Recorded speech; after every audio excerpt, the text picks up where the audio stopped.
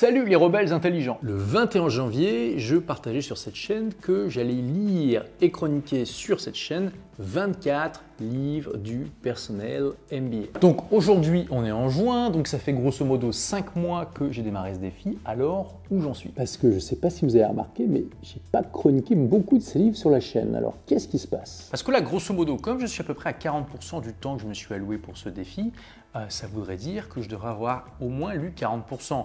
Donc on va dire au moins une dizaine de livres. Et attention, donc sur les 24 livres que j'ai choisis, j'en ai lu très exactement deux et demi. Parce que j'ai lu Thinking in Systems de Donella Meadows. Même si je ne l'ai toujours pas chroniqué ici. Accidental Genius de Mark Levy. Que lui, je suis heureux de le dire, euh, j'ai chroniqué sur cette chaîne. Vous pouvez aller voir hein, la chronique vidéo en cliquant sur le lien dans la fiche là. Et je suis en train de lire Thinking Fast and Slow de Daniel Kahneman. Alors, chers amis, Qu'est-ce qui se passe? Est-ce que je suis en train de procrastiner comme un goré? Est-ce que je suis en train de complètement me planter dans mon défi? Ah, c'est possible. Je lis quasiment tous mes bouquins sur le Kindle et le gros avantage de ça, c'est que c'est facile pour moi de revenir en arrière et de regarder un petit peu les livres que j'ai lus. Donc les livres que j'ai lus depuis le début de l'année, il y a euh, The Internet of Money and the Internet of Money 2 de Andrea euh, Antonopoulos, qui en fait parle des bitcoins et surtout des crypto-monnaies en fait. Euh, et c'est vraiment extrêmement intéressant. Euh, c'est un, des meilleurs experts du monde, hein, ce, gars.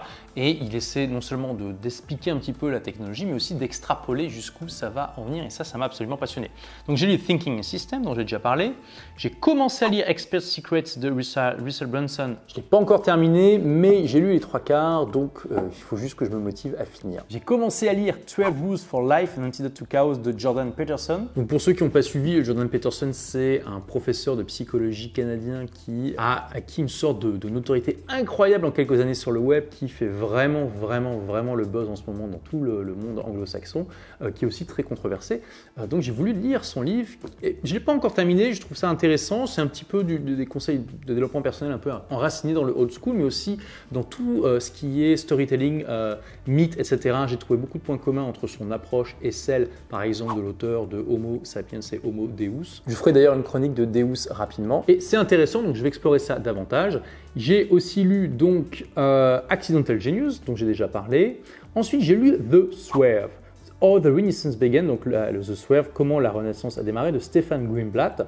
Et ça, c'est un livre extrêmement intéressant parce que finalement, il y a un livre de l'Antiquité qui me fascine depuis déjà un moment, même si très honnêtement, je ne l'ai pas euh, encore euh, lu entièrement. Ce livre, c'est de la nature des choses de Lucrèce, ou en latin, alors je ne sais pas si je prononce correctement, les latinistes parmi vous pourront me dire, de Rerum Natura. Et c'est un livre intéressant à deux titres. D'abord parce que c'est un livre qui a été écrit au 1er siècle avant Jésus-Christ et qui déjà est extrêmement moderne par certains de ses aspects. C'est un livre qui prône euh, la réflexion scientifique plutôt que de croire euh, des superstitions ou euh, des choses comme ça toutes faites, qui en plus se base sur une théorie atomiste, c'est-à-dire qu'il pense l'auteur explique, en fait c'est la théorie d'Épicure, hein. l'auteur explique que la matière est constituée beaucoup de vide et de toutes petites particules incassables, qui, et c'est ça qui forme la base de tout le reste, et il explique que par exemple c'est pour ça que quand on remplit une tasse euh, de, thé chaud, eh bien, on va percevoir la chaleur à travers ça, etc. Donc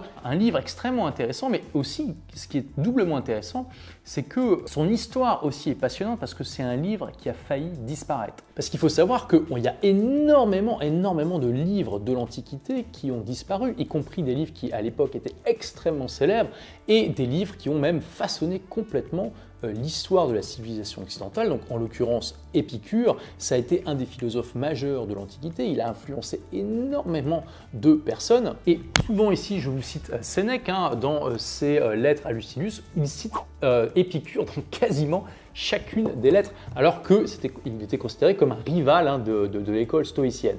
Et en fait, le problème, ce qui s'est passé, c'est que les enseignements d'Épicure ont été considérés comme contraires à l'enseignement chrétien, et du coup, comme finalement la seule manière pour les manuscrits de l'Antiquité de parvenir jusqu'à nous, ça a été qu'ils se fassent copier par les moines copistes du Moyen Âge. À partir du moment où les moines copistes n'ont pas euh, copié eh bien, euh, cela, grosso modo, les livres ont disparu. Et c'est là où on en revient l'histoire du manuscrit de, de Rerum Natura parce que en fait, il a survécu à travers grosso modo deux manuscrits dans des euh, monastères complètement perdus en Allemagne.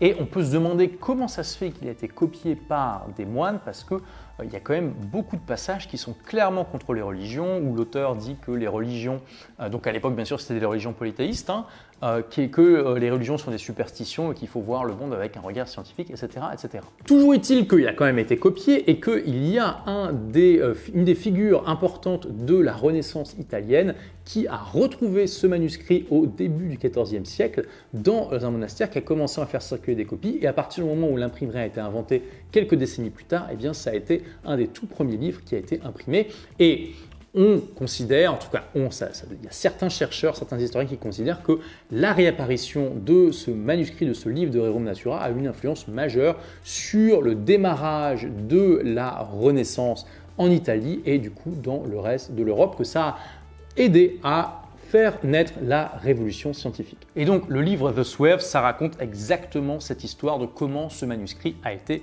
redécouvert. Ensuite, du coup, bah, je me suis, j'ai davantage avancé dans ma lecture de, la nature des choses, même si je ne l'ai pas encore terminé. Ensuite, j'ai lu Une vie choisie, c'est l'autobiographie de Marc Simoncini. Alors, Simoncini, est-ce que ça vous dit quelque chose? Si je vous dis mythique, ça vous parle peut-être un peu plus, parce que voilà, c'est le fondateur de Mythique.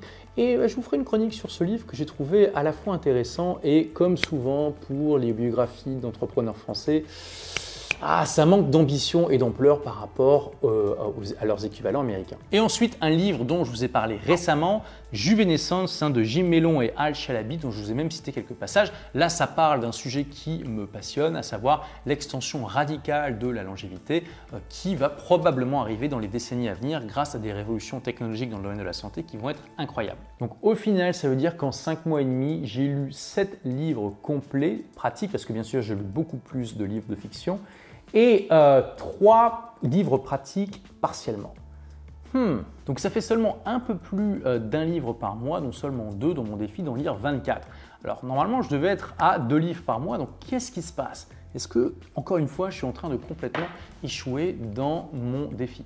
Bah, C'est très intéressant, les rebelles intelligents, et du coup, c'est un peu aussi une manière pour moi de faire une introspection quand je partage ça avec vous. Quand j'ai démarré mon blog des livres pour changer de vie, j'avais eu ce défi de faire 52 livres en 52 semaines, et pareil, non seulement de les lire, mais de faire des résumés. Au résultat, le résultat, c'était que j'en ai fait seulement 32. 32 euh, parce que, en fait, je m'étais rendu compte que écrire le résumé, ça me prenait deux fois plus de temps que lire et ça, je n'avais pas du tout prévu au départ. Alors que si aujourd'hui on regarde finalement 10 livres en 5 mois ou 10 livres et demi, parce qu'il y a aussi Thinking Fast and Slow que je suis en train de lire sur 5 mois et demi, bon, ça fait grosso modo 2 livres euh, par mois. Donc j'ai quand même 10 millions en moyenne, je reste quand même sur une moyenne qui est, euh, qui est pas trop mal.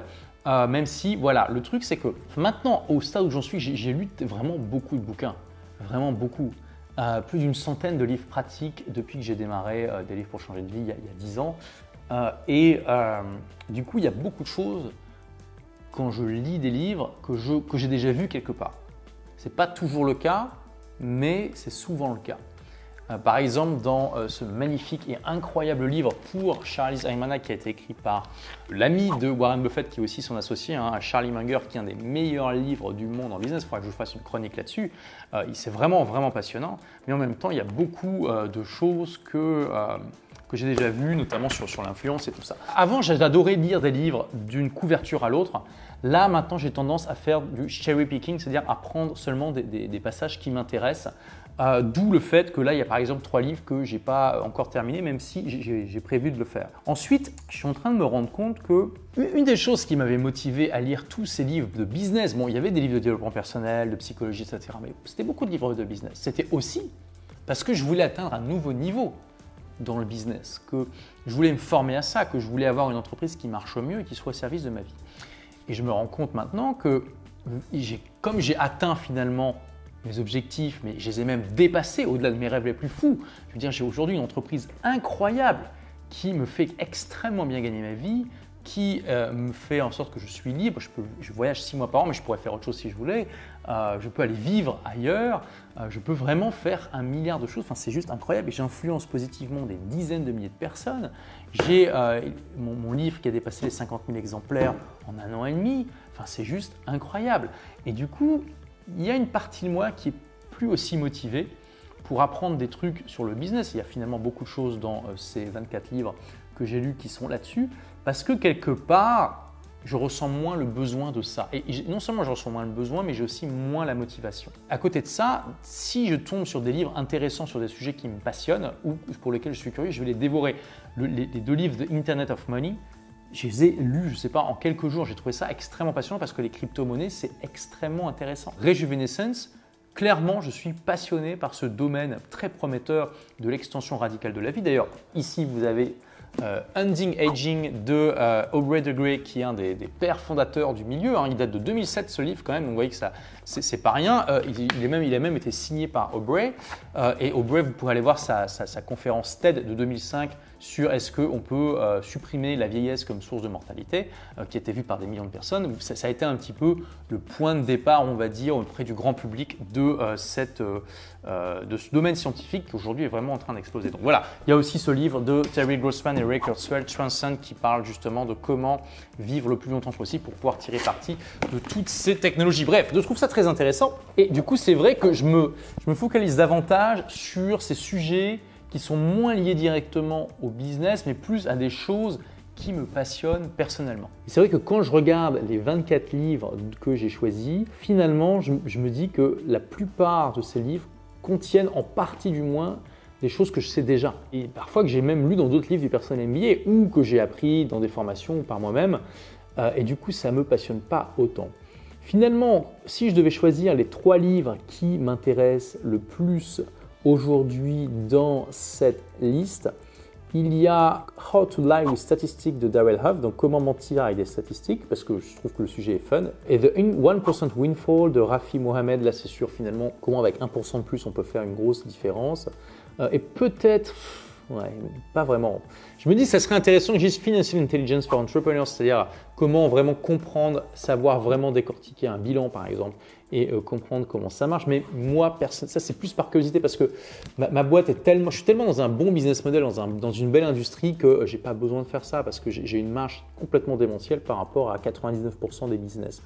Donc finalement, et, les 48 lois du pouvoir de Robert Greene, même là, euh, qui est là, hein, Là, c'est vraiment plus par curiosité qu'autre chose. Et aussi, je trouve le livre joli.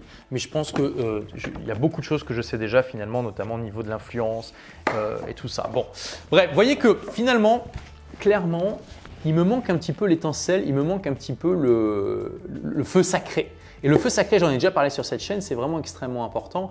Euh, il faut se trouver des challenges qui nous passionnent qui nous challenge et qui, euh, bah, dans l'idéal, va vraiment faire en sorte qu'on va donner le meilleur de nous-mêmes. Et pour qu'on donne le meilleur de nous-mêmes, il faut quand même qu'on soit ultra motivé par le résultat souhaité. Et là, c'est vrai que je ne me suis pas suffisamment posé la question quand je me suis donné le défi, quel est le résultat que je veux obtenir à travers ça? Et du coup, c'est vrai que là, je réfléchis, je me dis, qu'est-ce que ça va changer pour moi quand j'aurai appris tout ça? Peut-être, Je serai peut-être un peu plus précis sur certains sujets, mais je ne pense pas que ça va faire une différence fondamentale dans ma vie. Donc voilà les rebelles intelligents. Je ne suis pas en train de dire j'abandonne le, défi. Euh, clairement, ça m'ennuie de m'être lancé ça et de ne pas avoir suffisamment avancé là-dessus. Ce que je vais faire, je pense, je vais terminer euh, Thinking Fast and Slow. Hein, ça a été traduit en français par, euh, je crois, les deux systèmes de pensée.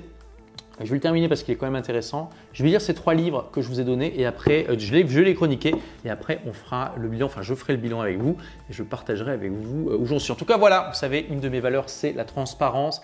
Donc même si, euh, voilà, ça peut m'arriver de me lancer dans des défis, de d'échouer, de les procrastiner, je suis un être humain imparfait. Et en tout cas, c'était important pour moi de vous faire un petit feedback à peu, près à mi-parcours. Voilà, n'hésitez pas d'ailleurs à me laisser un commentaire pour me donner votre avis sur ce défi, cette situation, et aussi euh, peut-être me dire est-ce que ça vous est déjà arrivé de vous retrouver dans une situation comme ça, où vous lancez un défi finalement, peut-être plus juste pour vous lancer un défi que pour une véritable raison. Et du coup, vous vous retrouvez à vous dire, mais finalement, quelle était ma motivation derrière? Ça n'a pas m'apporté grand-chose. N'hésitez pas à partager votre expérience, ça sera intéressant d'avoir votre feedback. Merci d'avoir regardé cette vidéo, les rebelles intelligents. Je vous dis à demain pour la prochaine. En attendant, n'oubliez pas, soyez rebelles, soyez intelligents, faites partie des gens qui se bougent et puis faites partie des gens qui ben, savent réfléchir et avoir de la rétrospective sur leur projet. Ciao